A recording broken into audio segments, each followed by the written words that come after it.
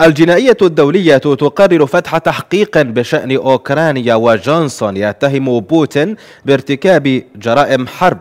أكد المدعي العام للمحكمة الجنائية الدولية كريم خان أنه سيفتح على الفور تحقيقا في ارتكاب جرائم حرب محتملة في أوكرانيا وذلك بعد تلقيه طلبا بذلك من 39 دولة أعضاء بالمحكمة حيث قال خان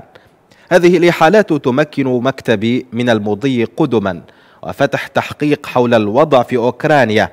وما بعدها بما يشمل أي مزاعم في الماضي والحاضر عن جرائم حرب أو جرائم ضد الإنسانية أو إبادة جماعية ارتكبت في أي جزء من أراضي أوكرانيا على يد أي شخص. وكان خان قد أعلن الاثنين اعتزامه الطلب من المحكمة الموافقة على فتح تحقيق في جرائم حرب محتملة بأوكرانيا لافتا إلى أنه أعرب عن قلقه المتزايد مرددا صدى قلق قادة ومواطني العالم على حد سواء بشأن الأحداث الجارية هناك ولذلك قررت المضي قدما في فتح تحقيق في الوضع بأوكرانيا بأسرع ما يمكن.